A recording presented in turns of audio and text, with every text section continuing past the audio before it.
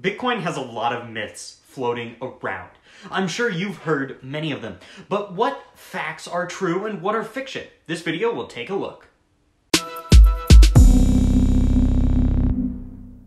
First, Bitcoin has no real world applications. This is fiction. Bitcoin is already used around the world for many things, such as online shopkeepers running their store, people trying to avoid inflation in their home currency, and anything else you can use any other currency for. Because of how easy it is for a store to, to store and transfer, it is a really popular currency. Second, there's a finite amount of Bitcoin.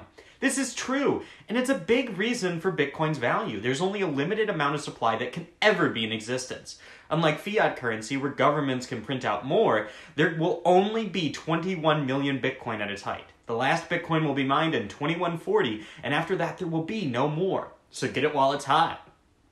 Third, Bitcoin is only used by criminals. This is false. Yes, some Bitcoin is obviously used by criminals, and so is any other fiat currency. One estimate says that $10 million worth of Bitcoin is used in, is held in illicit addresses.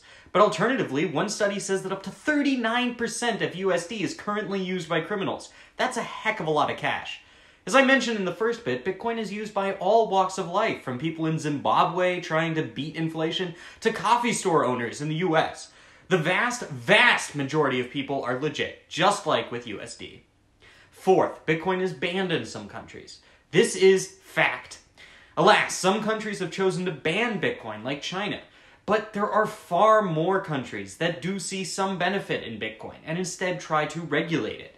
Bitcoin is perfectly legal in the EU, US, Canada, Japan, and even El Salvador uses it as a reserve currency. Just make sure you follow any laws such as making sure to pay your taxes. Fifth, Bitcoin is a Ponzi scheme. This is 100% false. A lot of Bitcoin detractors say that it's a Ponzi scheme, but they couldn't be further from the truth. First off, who's benefiting?